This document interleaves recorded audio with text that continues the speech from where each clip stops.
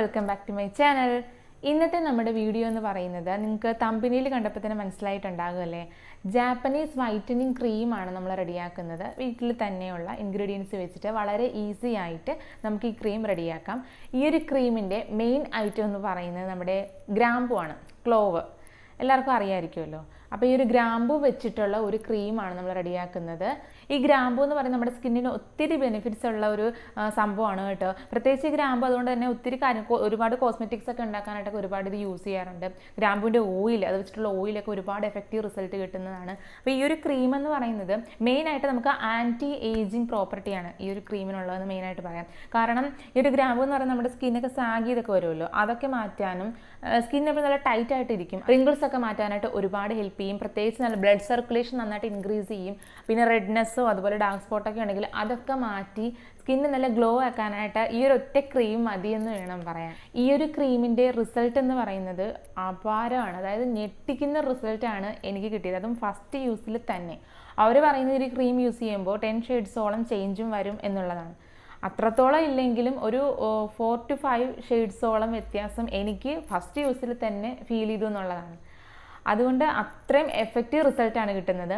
പിന്നെ എല്ലാവരും ഓർക്കും ഗ്രാമ്പു അത് ഞാൻ ചിന്തിച്ചായിരുന്നു. ഗ്രാമ്പു നമ്മളിത് പൊടിച്ചൊക്കെ എടുത്ത് പൗഡർ ആക്കിയിട്ടൊക്കെയല്ലേ ക്രീം ആക്കുന്നത്. അപ്പോൾ പൊടിച്ചൊക്കെ എടുത്ത സമയത്ത് ഒരു ചെറിയ ഗ്യാസ് പോലെയോ എന്തോ ഒരു ഇതുപോലെ ഇങ്ങനെ തോന്നിയിരുന്നു. അപ്പോൾ ഞാൻ പേടിച്ചു.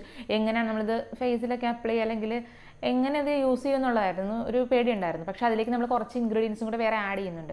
അത് നിങ്ങൾ വീഡിയോ സ്കിപ്പ് ചെയ്യാണ്ട് കാണുമ്പോൾ നിങ്ങൾക്ക് മനസ്സിലാവും. അതൊക്കെ ആഡ് ചെയ്ത് നമ്മൾ ഈ ഒരു ക്രീം ആക്കി റെഡിയാക്കി വെച്ചപ്പോൾ ഒരു കുഴപ്പവും ഇല്ല. ഇത് ഇട്ട് കഴിയുമ്പോൾ നല്ലൊരു കൂളിംഗ് ആണ് നമുക്ക് തോന്നുന്നത്. നമ്മുടെ സ്കിന്ന് നന്നായിട്ട് മോയ്സ്ചറായിട്ട് ഇരിക്കുന്നുണ്ടാവും. അപ്പോൾ ഞാൻ ഒരുപാട് പറഞ്ഞ് ലേറ്റ് ആക്കുന്നില്ല. എങ്ങനെയാണ് നമ്മുടെ ഈ ഒരു ക്രീം റെഡിയാക്കുന്നത് നമുക്ക് നോക്കിയിട്ട് വരാം. അതിന് മുന്നേ ആയിട്ട് ആദ്യമായിട്ടാണ് എന്റെ ചാനൽ കാണുന്നുണ്ടെങ്കിൽ ചാനൽ ഒന്ന് സബ്സ്ക്രൈബ് ചെയ്യുക. സബ്സ്ക്രൈബ് ചെയ്യുമ്പോൾ തൊട്ടടുത്തുള്ള ബെൽ ബട്ടണിൽ ഓൾ ഒന്ന് എനേബിൾ ചെയ്തേക്കണം കേട്ടോ. ഓക്കെ അപ്പോൾ നമുക്ക് ലേറ്റ് ആക്കാണ്ട് വീഡിയോയിലേക്ക് പോവാം. ഇതാ നമ്മുടെ ക്രീം റെഡിയാക്കാനായിട്ട് ഞാനിവിടെ ഗ്രാമ്പു എടുത്തിട്ടുണ്ട്. കറക്റ്റ് ഒരു രണ്ട് ടീസ്പൂണോളം ഗ്രാമ്പുമാണ് ഞാൻ എടുത്തിട്ടുള്ളത്. നമുക്കിത് ഇരുപത്തഞ്ച് ഗ്രാമോ അങ്ങനെ അമ്പത് ഗ്രാം എന്നൊക്കെ പറഞ്ഞാൽ വാങ്ങിക്കാൻ കിട്ടുമല്ലോ. അധികം വിലയൊന്നും ആവില്ല. ഓക്കെ എന്നിട്ട് നമുക്ക് ഈ ഗ്രാമ്പു എല്ലാം കൂടിയിട്ട് മിക്സിയുടെ ചെറിയൊരു ജാറിലിട്ടിട്ട് നന്നായിട്ട് പൊടിച്ചിട്ടെടുക്കാം. ഞാൻ ദാ ഇവിടെ പൊടിച്ചിട്ട് എടുത്തിട്ടുണ്ട് ഫുള്ളായിട്ട് ഇത് നിങ്ങൾക്ക് അരിച്ച് അതിന്റെ ഫൈൻ പൗഡേഴ്സായിട്ട് മാത്രം എടുക്കണമെങ്കിൽ അങ്ങനെ എടുക്കാൻ കേട്ടോ. ഞാനിവിടെ അരിക്കുന്നില്ല അങ്ങനെ ഫുള്ളായിട്ട് അത് തന്നെ എടുക്കുവാണ്. എന്നിട്ട് നമ്മളിത് റെഡിയാക്കാനായിട്ടുള്ള അത്യാവശ്യം കട്ടി അടി കട്ടിയൊക്കെയുള്ള ഒരു പാത്രത്തിലേക്ക് ഞാനിത് ഫുള്ള് ആ പൗഡറെല്ലാം ഇട്ട് കൊടുക്കുവാണേ.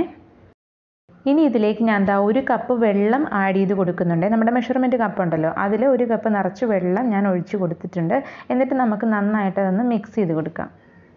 നമ്മളെപ്പോഴും ഉണ്ടാക്കുമ്പോൾ ചെറിയ ക്വാണ്ടിറ്റിയിൽ ഉണ്ടാക്കിയാൽ മതി കേട്ടോ. കാരണം നമ്മളിത് ഫ്രിഡ്ജിലൊക്കെ വെച്ചിട്ടല്ലേ യൂസ് ചെയ്യുന്നത്. ഒത്തിരി നാളൊന്നും ഇരിക്കില്ലല്ലോ. അപ്പോൾ കുറച്ച് ക്വാണ്ടിറ്റിയിൽ ഉണ്ടാക്കി എടുത്താൽ മതിയാകും ഓക്കെ എന്നിട്ട് ഇതിലേക്ക് ഞാൻ ആഡ് ചെയ്യുന്നത് ഒരു ടേബിൾ സ്പൂണോളം കോൺഫ്ലോർ ആണ്. അതും കൂടിയിട്ട് ആഡ് ചെയ്ത് കൊടുക്കാം. എന്നിട്ട് നന്നായിട്ട് അതൊന്ന് കട്ടയെല്ലാം അലിയിച്ച് എടുത്ത ശേഷം മാത്രം ഫ്ലെയിം ഓൺ ആക്കിയാൽ മതിയേ. എന്നിട്ട് നമ്മൾ കൈ എടുക്കാണ്ട് അത് ഫ്ലെയിം ഓൺ ആക്കിയ ശേഷം പിന്നെ കൈ എടുക്കാണ്ട് കുറുക്കി എടുക്കണം. അല്ലെങ്കിൽ അത് അത് അങ്ങനെ അടുക്കി പിടിക്കില്ലേ? അപ്പോൾ അത് കണ്ടോ ഈ ഒരു പരുവൊക്കെ ആയിട്ട് വരുന്നുണ്ട്. ഇനി നമുക്കൊരു തിള വരുമല്ലോ. തിളച്ച് തുടങ്ങി അതിന്റെ ബബിൾസ് ഒക്കെ വരുമ്പോഴത്തേന് ഇപ്പോൾ കറക്റ്റ് പാകമാകും അപ്പോഴത്തേക്ക് നമുക്കത് ഫ്ലെയിം ഓഫ് ചെയ്യാം. എന്നിട്ട് നമുക്ക് തണുത്ത ശേഷം ഞാനിവിടെ ഒരു പാത്രത്തിലേക്ക് എടുത്തിട്ടുണ്ട്.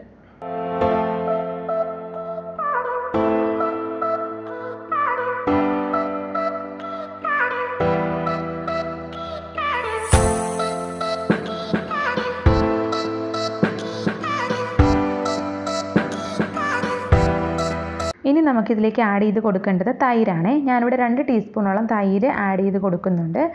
എന്നിട്ട് നമുക്ക് നന്നായിട്ട് മിക്സ് ചെയ്തിട്ട് കൊടുക്കണം. നമുക്കിത് തൈരും കൂടിയിട്ട് ഇങ്ങനെ ഡൈലൂട്ട് ചെയ്ത് അങ്ങനെ വേണമല്ലോ എടുക്കാൻ. കാരണം ഇത് മാത്രമായിട്ട് തനിയെ അങ്ങനെ അപ്ലൈ ചെയ്യാൻ പറ്റില്ലല്ലോ. ഗ്രാമ്പു അല്ലേ? അപ്പോൾ അതിന്റെ ഒരു പുകച്ചിലൊക്കെ എടുക്കുമല്ലോ. അപ്പോൾ നമ്മൾ തൈര് ആഡ് ചെയ്ത് കൊടുത്ത ശേഷം നന്നായിട്ട് മിക്സ് ചെയ്യാം.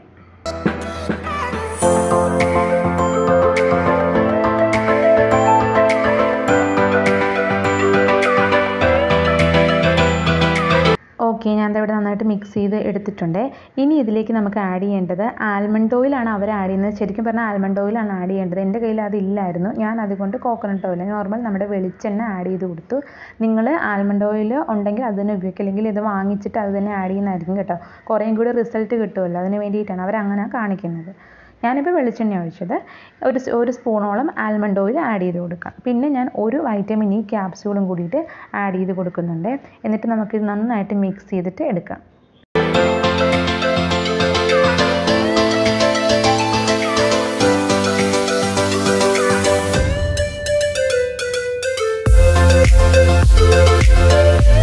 ഓക്കെ അപ്പോൾ നമ്മൾ മിക്സ് ചെയ്തെടുത്ത നമ്മുടെ ക്രീം ഇനി എയർ ടൈറ്റ് ആയിട്ടുള്ള ഒരു ടിന്നിലേക്ക് നന ഒന്നും പാടില്ല നല്ല വൃത്തിയായിട്ടുള്ള ഉണങ്ങിയ ഒരു ടിന്നിലേക്ക് നമുക്ക് എടുത്തു മാറ്റാം.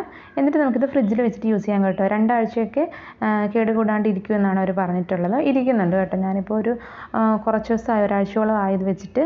അപ്പോൾ നന്നായിട്ട് ഇരിക്കുന്നുണ്ട് കുഴപ്പമൊന്നുമില്ല. ഇതാ നമ്മുടെ ക്രീം അങ്ങനെ ഇവിടെ റെഡി ആയിട്ടുണ്ട്. കണ്ടോ? നല്ല കറക്റ്റ് ക്രീമി കൺസിസ്റ്റൻസിയിൽ തന്നെ കിട്ടിയിട്ടുണ്ട്. ഓക്കെ ഇനി ഞാനിതിന്റെ കയ്യിൽ ഒരു കയ്യിൽ ഞാനിത് അപ്ലൈ ചെയ്ത് കാണിക്കാം. അപ്പോൾ മറ്റേ കൈയായിട്ടുള്ള ഡിഫറൻസ് നിങ്ങൾക്ക് മനസ്സിലാകുമല്ലോ നമ്മൾ കുറച്ച് ക്രീം ഇങ്ങനെ എടുത്തിട്ട് നമ്മുടെ ഫേസിലോ അതുപോലെ കയ്യിലോ എവിടെയാണെന്ന് വെച്ചാൽ നന്നായിട്ട് ഇങ്ങനെ മസാജ് ചെയ്തുകൊണ്ട് തേച്ച് പിടിപ്പിക്കുക ഒരുപാട് തിക്കായിട്ടൊന്നും ഇടണ്ട. എന്നാൽ അത്യാവശ്യം നല്ല രീതിയിൽ തന്നെ ഒന്ന് തേച്ച് പിടിപ്പിച്ച് കൊടുത്തിട്ട് ഒരു ഇരുപത് മിനിറ്റ് കഴിയുമ്പോഴത്തേനും അപ്പോഴത്തേക്കും ഡ്രൈ ആയിട്ടുണ്ടാവും. നമുക്ക് നോർമൽ വാട്ടർ ഉപയോഗിച്ചിട്ട് തന്നെ അത് കഴുകിക്കളയാം. നമ്മളിത് യൂസ് ചെയ്യുമ്പോഴത്തേനും നൈറ്റ് അപ്ലൈ ചെയ്യുന്നതായിരിക്കും കേട്ടോ നല്ലത്.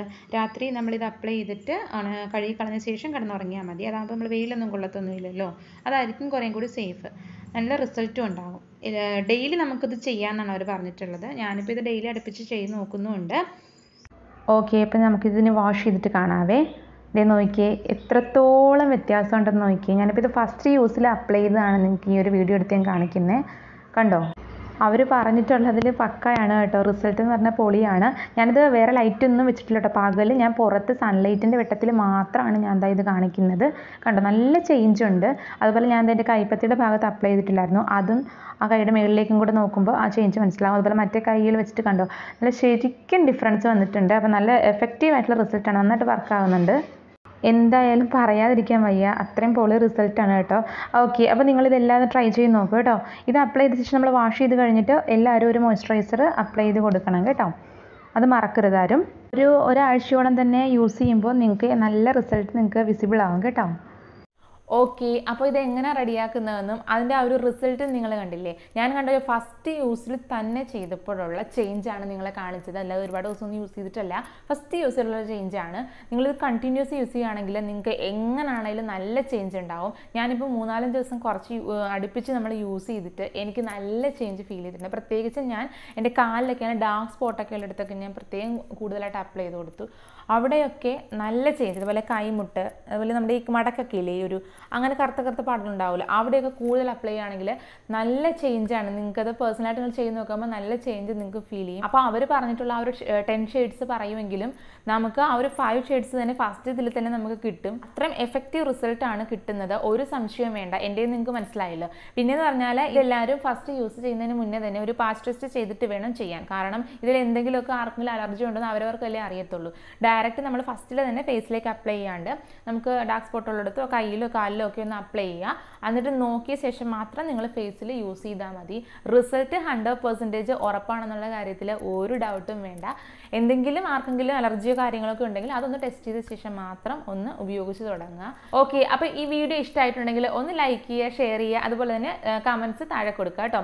എന്റെ ഈ ചാനൽ സബ്സ്ക്രൈബ് ചെയ്യാത്തവർ ഒന്ന് സബ്സ്ക്രൈബ് ചെയ്ത് സപ്പോർട്ട് ചെയ്യണം. അതുപോലെ തന്നെ ബെൽ ബട്ടണിൽ ഒന്ന് ഓളും കൂടി എനേബിൾ ചെയ്തേക്കുക അപ്പോൾ ഞാൻ വീഡിയോസ് ഒക്കെ അപ്ലോഡ് ചെയ്യുമ്പോൾ നിങ്ങൾക്ക് അതിന്റെ നോട്ടിഫിക്കേഷൻ മിസ് ചെയ്യാണ്ട് വരും. ഓക്കെ അപ്പോൾ യൂസ്ഫുൾ ആയിട്ടുള്ള മറ്റൊരു വീഡിയോ ആയിട്ട് വീണ്ടും വരാം. അതുവരേക്കും താങ്ക് യു ഓൾ ബൈ